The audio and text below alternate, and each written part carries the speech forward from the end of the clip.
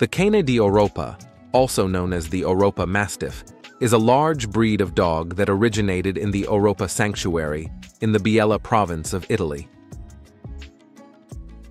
This breed is believed to have been developed by the monks of the sanctuary, who bred the dogs for their guarding and herding abilities. The Cane di Oropa is a rare breed, with only a few hundred dogs in existence today. Pros of Cane di Oropa Loyal and affectionate. These dogs are known for their loyalty and affection towards their families. They make great companions and are always up for a cuddle. Intelligent and trainable. These dogs are highly intelligent and trainable. They are quick learners and respond well to positive reinforcement methods. Protective. These dogs are naturally protective of their families and homes. They make great guard dogs and will alert you to any potential danger. Versatile. These dogs can be trained for a variety of tasks, including obedience, agility, and search and rescue.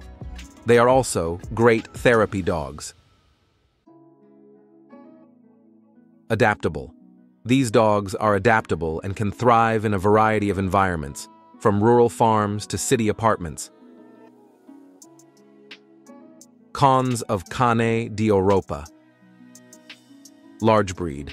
These dogs are a large breed of dog and require plenty of space to exercise. They are not well suited for small apartments or homes with limited outdoor space. High energy. These dogs are a high energy breed and require plenty of exercise to stay happy and healthy. They need at least two hours of exercise per day, preferably more. Grooming. These dogs have a thick coat that requires regular brushing and grooming to prevent matting and tangling. They should also be bathed regularly, especially if they spend a lot of time outdoors. Health conditions these dogs are prone to certain health conditions, such as hip dysplasia and eye problems. It is important to have your dog screened for these conditions by a veterinarian. Cost. These dogs can be expensive to purchase and maintain. They require a lot of food, exercise, and grooming.